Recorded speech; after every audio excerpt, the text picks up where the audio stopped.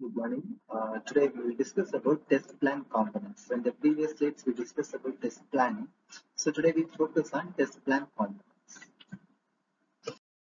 So test plan components. So the basic test plan components uh, we will take the reference from IEEE standard 829 1983 and we'll see one by one. So test plan identifier.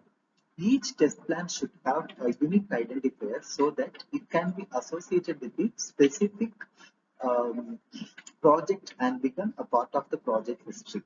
The project history and all project related items should be stored in a project database. Organizational standards should describe the format for the test plan identifier as well as how to specify it and they should specify the versions also. So that's all about test plan identifier. Then uh, introduction. Here the test planner gives an overall description of the project. Uh, the software system being developed or maintained and the software items uh, to be tested. Uh, references to related or supporting documents should also be included. If test plans are developed as multi-level documents, then each plan must reference uh, the next higher level plan for consistency and compatibility reasons. Okay. Then uh, item to be tested. This is a list of listing of the entities to be tested and should include names, identifiers, and version or revision number for each entity so that when we uh, both walk through later stages it's very easy to understand Uh, references to the appropriate document and the user's manual should be included. The test planner should also include items that will not be included in the test efforts. Then future to be tested features may be described as distinguishing characteristics of a software component or system. Features that will that will not be tested should be identified and reason for their exclusion from tests should be included. Uh, references to test design specification for each features and each combination of features are identified. So uh, documenting uh, the entire thing is very, very important. Then approach provides a broad coverage of the issues to be addressed when testing the target software testing activities are described, tools and technique necessary for the test should be included, expectation for test completeness and how the degree of completeness will be determined should be uh, described.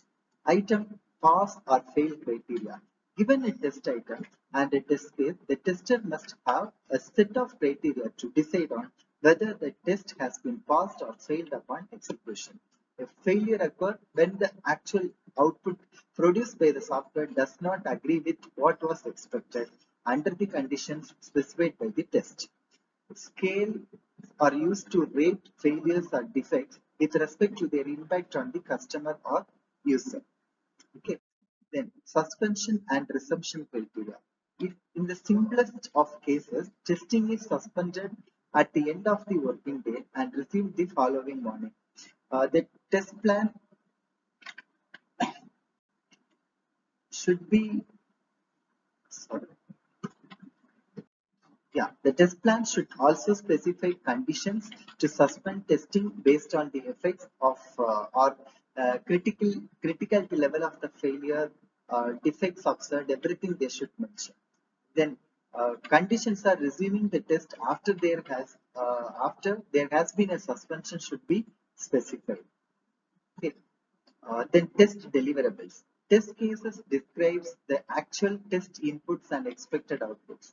Deliverables may also include other documents, the results from uh, testing such, such as test logs, uh, test transmittal report, test incident report, as well as a test summary report. This, these are the other test deliverables, uh, especially to support the test efforts. Okay, then uh, support code like uh, testing tools that will be developed, especially uh, for the particular project, should also be described. Then testing task. Testing task means nothing but it identifies all testing related tasks and their dependencies using a work breakdown structure that is WBS.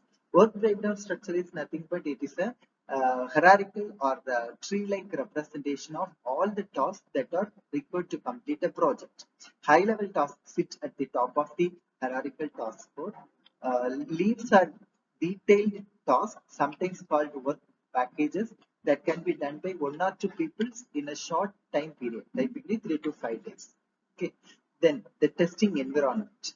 So here the test planner describes the software and hardware needs for the testing effort. Example, emulators, telecommunication equipment, um, etc.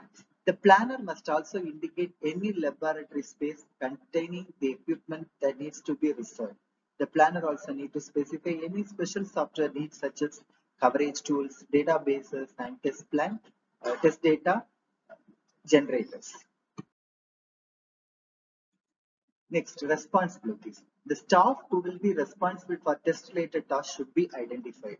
This includes personnel like developers, testers, software quality assurance staff, system analysis, sorry, system analyst, and uh, custom, uh, consumer or customer user who will be developing a test design specification and test cases, executing the test and uh, recording results, checking results, interacting with developers, developing the test harnesses, interacting with the users or customers. Then staffing and training needs. The test planner should describe the staff and the skills needed to carry out test related responsibilities. Any special training required to perform a task should be noted and it should be scheduled. Okay. Uh, next, scheduling. Task duration should be established and recorded with the aid of a task networking tool. Test milestones should be established, recorded, and scheduled. Schedules for the use of staff, tool, equipment, and laboratory space should also be specified.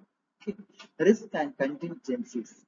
Every testing effort has risk associated with it. Testing software with a high degree of criticality, complexity, or high or a tight delivery deadline all impose risk that may have uh, negative impact on project goals. So there should be a care should taken before starting the proper test plan. These risks should be identified, evaluated in terms of their probability, probability of occurrence, prioritization, and contingency plans should be developed that can be avoided if the risk occurs. Okay.